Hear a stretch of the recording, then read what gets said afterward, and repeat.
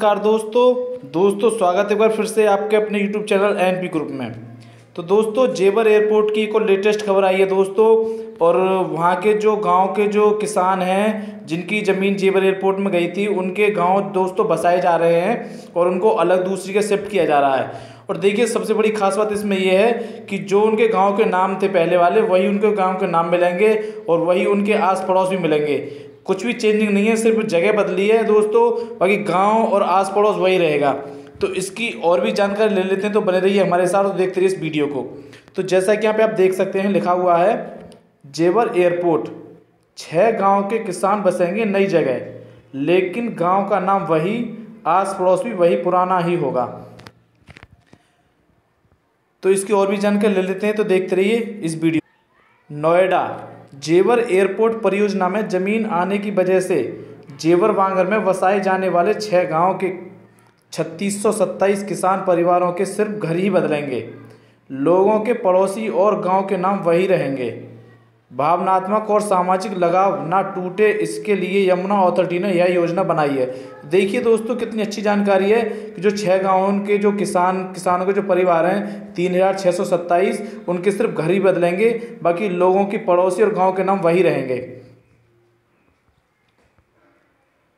Authority करीब 250 करोड़ रुपये से जेवर बांगर में विस्थापित होने वाले परिवारों के लिए एक टाउनशिप विकसित करने जा रही है। इसमें सात पॉकेट होंगे। हर एक पॉकेट का नाम उसमें बसने वाले किसानों के नाम के नाम पर होगा। यही नहीं, गाँव में उनके घरों के पास जो मंदिर, मस्जिद या अन्य सार्वजनिक स्थान था अथॉरिटी वो भी नई जगह पर बनवा कर देगी। देखिए दोस्तों, कितनी अच्छी जानकारी है। कि जो उनके आस पड़ोस जो भी थे, घर, मकान जैसे थे, मंदिर, मस्जिद जो भी थी, वहाँ पे जो भी स्थान थे, उनको ऐसे ही बनवा करके अथॉरिटी दे रही है उनको किसानों को। जेवर बांगर में किसान परिवारों को शिफ्ट करने के लिए सात पॉकेट डेवलप किए जाएँगे। इसके लिए करीब आधा दर्जन विकास कार्यों के टेंडर जारी किए जा चुके हैं। जो काम बचे हैं, उनके भी टेंडर जल्दी जारी करवाकर एजेंसी चयन किया जाएगा। कोशिश यही है कि मौके पर विकास कार्य जल्द पूरा किया जाए। अरुणवीर सिंह सीईओ यमुना अथॉरिटी देखिए दोस्तों, कितनी अच्छी जानकारी है कि उनका जो भी टेंडर था, वो जल्दी फटाफट से किया जाए और उनको जल्दी शिफ्ट कर दिया जाएगा। अथॉरिटी के अधिकारियों ने बताया कि गाँव में जो जिसका पड़ोसी है, उसी हिसाब से जेवर वांगर के पॉकेट में प्लॉट दिया जाएगा। साथ ही समाज और बसावट के दूसरे पहलुओं पर भी गौर किया जाएगा। अगर घर मंदिर के पास में है तो मंदिर के पास में प्लॉट मिलेगा। इसी तरह अगर मस्जिद के पास में किसी का घर है तो उसे मस्जिद के पास का प्लॉट मिलेगा। हाँ अगर किसान परिवार को दिए जा रहे प्लॉट पर कोई आपत्ति है या निजी समस्या है तो अथॉरिटी विकल्प भी देगी। तो देखिए दोस्तों, कितनी अच्छी जानकारी है कि जहाँ जिसका घर है, जैसे है, उसी तरह उसको घर दिया जाएगा। और उसके आस पड़ोस में जो भी चीज़ रह रही होगी, वही उसको मिलेगी। मंदिर के पास अगर है तो मंदिर के पास मिलेगा, मस्जिद के पास है तो मस्जिद के पास मिलेगा। अथॉरिटी प्लॉट डेवलप करने के साथ में, उनमें हाईटेक टाउनशिप वाली सुविधा भी पहुंचाएगी। प्राथमिक विद्यालय, अस्पताल कम्युनिटी सेंटर व अन्य सामुदायिक स्थलों को, स्थलों का भी निर्माण करवाया जाएगा। पॉकेट विकसित करने के लिए अथॉरिटी ने कुछ दिन में ही करीब आधा दर्जन योजनाओं के टेंडर जारी कर दिए हैं। बाकी के बचे हुए काम के टेंडर भी अथॉरिटी जल्दी जारी करेगी।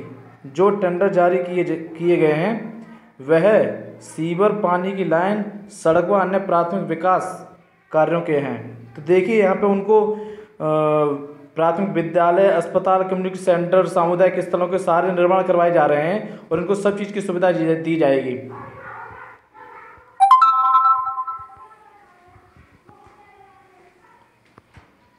जानकारी के मुताबिक जेवर वांगर में विकसित किए जाने वाले पॉकेट में छः गाँव के परिवार शिफ्ट किए जाएँगे। इनमें नगला गणेशी, रोही, पारोही, किशोरपुर, नगला छीतर नगला शरीफ दयानतपुर खेड़ा इनमें सबसे ज़्यादा संख्या रोही गाँव के किसान परिवारों की है। इसी तरह अन्य गाँव के भी परिवार हैं। अब यह अथॉरिटी की तैयारी के मुताबिक एक पॉकेट में एक गाँव के किसान को प्लॉट दिया जाएगा। फिर अगर रोही गाँव के परिवार पॉकेट एक शिफ्ट में शिफ्ट होते हैं तो उसका नाम पॉकेट एक रोही होगा। इसी तरह गाँव का नाम हर एक परिवार के साथ जुड़ेगा। तो दोस्तों, ये जानकारी थी जेवर एयरपोर्ट की और देखिए इसमें रोही गाँव के जो किसान किसान है, उनका परिवार ज़्यादा है। रोही गाँव के जो किसानों का परिवार ज़्यादा की संख्या में है तो उनको ज़्यादा प्लॉट दिए जाएँगे। और देखिए इसमें हर परिवार के अलग अलग पॉकेट भी रखे जाएँगे, उनके अलग अलग नाम दिए जाएँगे। दोस्तों, ये जानकारी थी नई जेवर एयरपोर्ट की, और उनके वहाँ के जो आसपास के जो किसान भाई हैं, उनके लिए बहुत अच्छी खबर थी ये। तो दोस्तों, आशा करता हूँ कि आपको ये जानकारी अच्छी लगी होगी। तो आप इसको ज़्यादा से ज़्यादा शेयर करिए और हमारी इस वीडियो को लाइक करिए। धन्यवाद दोस्तों।